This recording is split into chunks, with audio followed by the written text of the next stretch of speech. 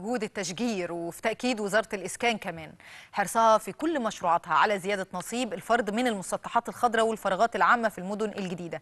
وزارة الإسكان قالت إن كل المدن الجديدة بتتمتع طبعا بمسطحات خضراء بمساحات كبيرة وده علشان يحققوا جودة الحياة للمواطن وزيادة حصة الفرد من المسطحات الخضراء والفراغات العامة. طب بالنسبة لل- للمدن القديمة بقى هيعيد تشجيرها. وتحت مسمى إعادة الإحياء. للعمران القائم وده بزيادة المسطحات الخضراء والفراغ- والفراغات العامة.